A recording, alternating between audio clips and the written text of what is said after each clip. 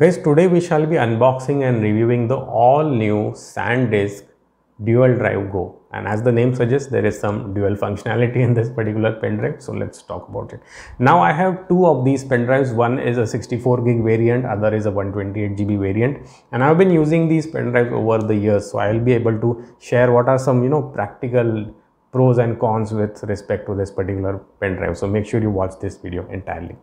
Coming to the first part that is unboxing and honestly there is nothing much to unbox. The pen drive simply comes in a blister packaging. There are two ports. One side is type A, the other uh, side is type C which works with mobiles or tablets and it comes with a nifty little twist mechanism. So you can, so it does not matter which kind of port your host device has this pen drive is going to be compatible with almost all of them. Uh, let's talk about the speed test and as you can see uh, SanDisk advertises a speed of around 150 Mbps but as you can see on the display the read speed I get is very good. It is 100 to 120 Mbps but the write speed leaves a lot to desire because the write speed is only 30 Mbps.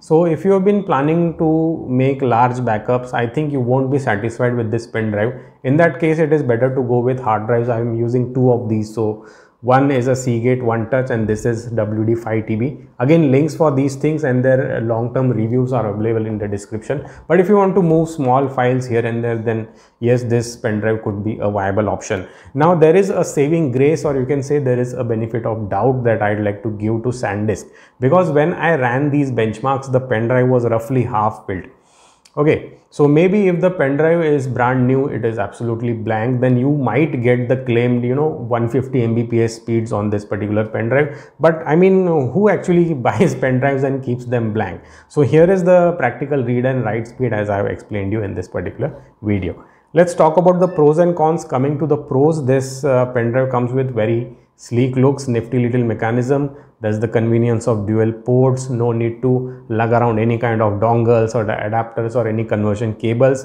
This thing is just as easy to use. Simply like that.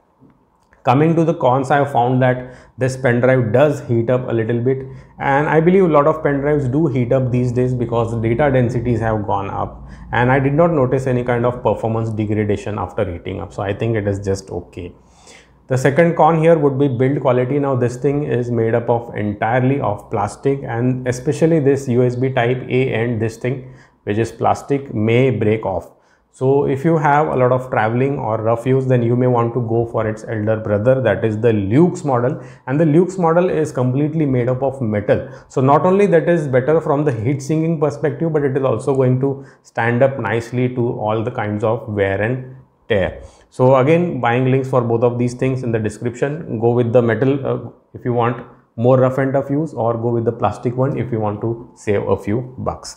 Let's come to the conclusion who should buy this pen drive. Okay, so if you want a nifty little pen drive, so for moving around small files here and there, you know, if you want something which is portable, you don't want to lug a large hard drive around then this thing is absolutely fine. It's going to serve you well. Plus the convenience of having no dongles and converters for type c or type a devices is added bonus. So that's it for this neat little video guys. I hope you liked this one. Take care and have a nice day